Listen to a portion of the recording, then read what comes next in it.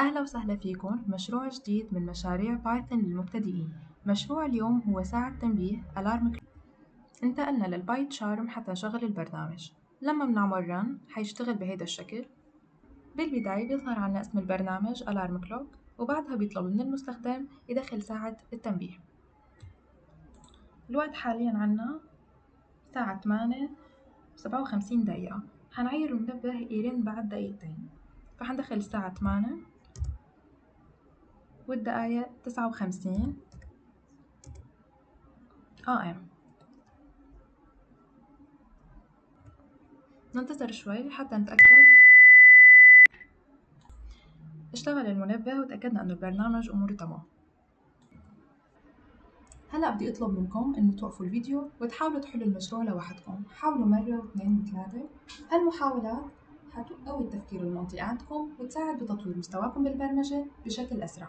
حناخد فاصل خمس ثواني وبعدها نبدأ بحل المشروع مع بعض.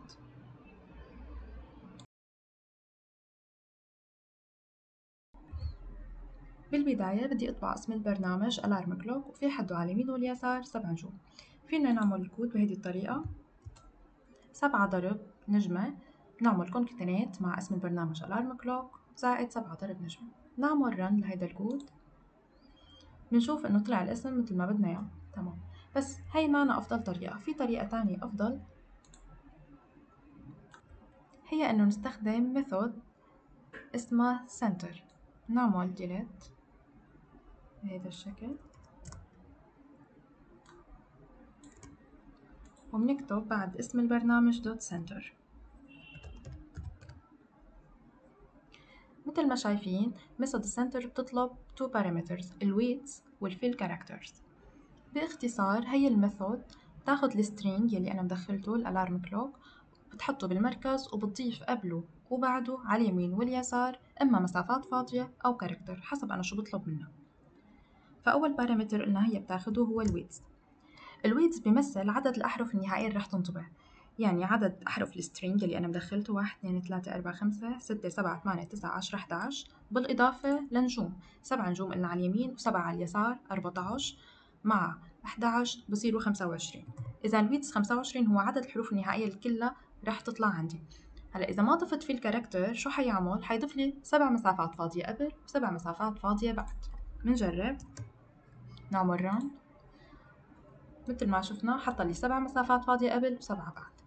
وإذا بدي أحط نجمة فبضيف ال character يلي أنا بدي إياه. وبعمل run رح يطلع بهيدا الشكل. بنعمل import لل datetime و import لل winsound حتى نقدر نشغل صوت التنبيه. ونعرف متغير هو ال alarm clock نطلب من المستخدم. يدخل آه، وقت التنبيه. وبنحوله بال int لرقم لأنه ال input بتخزن البيانات ك string رح نبنيها رقم. ونفس الشي بالنسبة للدقايق. كمان بنعرف متغير ال alarm minute هلا بنعرف متغير AM PM.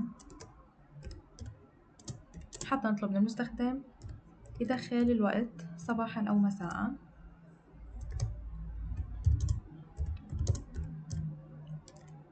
وبنحوله لأحرف صغيرة عن طريق function dot lower بعد ما عرفنا متغير الألارم hour والألارم minute بننتقل لنعرف الوقت الحالي ال current hour. عن طريق daytime module current hour هي current hour بتساوي datetime dot datetime dot now dot hour هيك بيعطيني الساعة الحالية؟ بالنسبة للدقائق. نفس الطريقة. datetime dot datetime dot now dot minute. بس في عنا مشكلة هون إنه module ال datetime تعطيني توقيت بنظام ال 24 ساعة. يعني إذا الساعة 6 PM ما حتكتب 6 PM حتقلي الساعة 18 فحتى حل هي المشكلة بنحول ال alarm hour يلي دخل المستخدم لنظام 24 ساعة بهالطريقة. If am pm equal equal pm ضف لي على ال alarm hour 12 ساعة. يعني إذا كانت 6 ضف لي عليها 12 وبتصير 18 هيك بتكون تحولت لنظام 24 ساعة. هلا بنعرف ال loop. While true.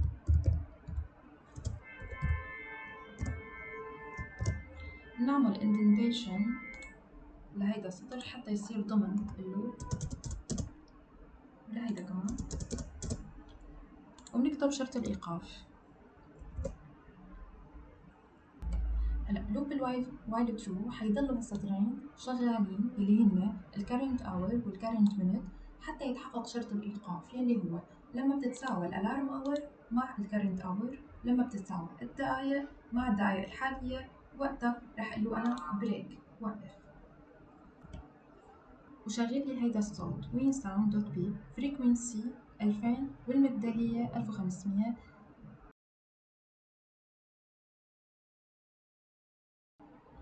هيك بنكون خلصنا من حل هيدا المشروع؟ أنا حاولت حله بأبسط طريقة ممكنة. ممكن تكونوا حليتوه أنتو بطرق مختلفة. شاركوني طريقتكم بالتعليقات وبشوفكم بفيديو جديد. سلام!